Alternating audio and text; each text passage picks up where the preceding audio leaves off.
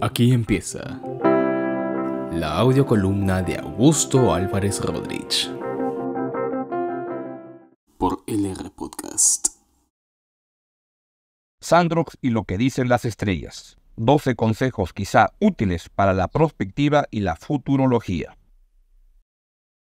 Recibí la estupenda noticia de que gané una cena en el mejor restaurante del mundo, The World's 50 Best 2023, peruano por supuesto, central de Virgilio Martínez y Pía León, por haber tenido las proyecciones más acertadas entre 25 analistas convocados el año pasado por el SAE de Apoyo Consultoría en un cuestionario con preguntas sobre la política peruana en 2023. Pese a que, en esto de la futurología, la chiripa es, especialmente en la inestable política peruana, el factor crucial, me quedé pensando en qué puede ser útil para el oficio de la prospectiva.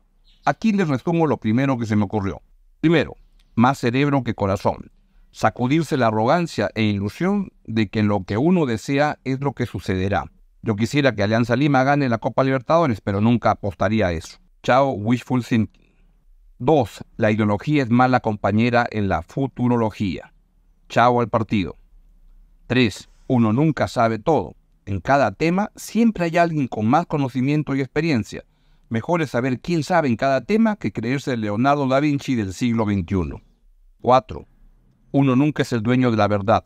Siempre puede haber un punto de vista distinto al nuestro que sea valioso. 5. Buscar información plural, inteligente y precisa es crucial para proyectar, aunque no nos guste lo que diga. No solo se debe leer al amigo, a la collera o al que coincide, sino al que piensa distinto y hasta nos cae mal. Lenin dijo, es una verdad el que con frecuencia en política se aprende del enemigo. 6.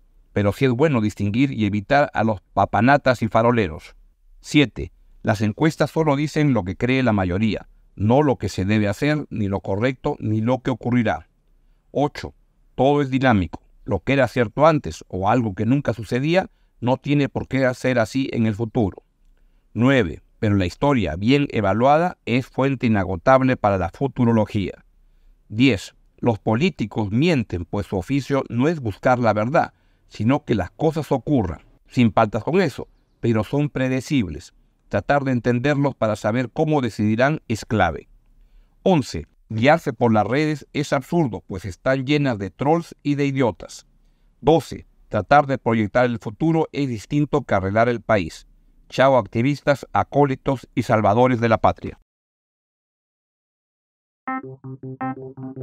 Esto fue la audiocolumna de Augusto Álvarez Rodríguez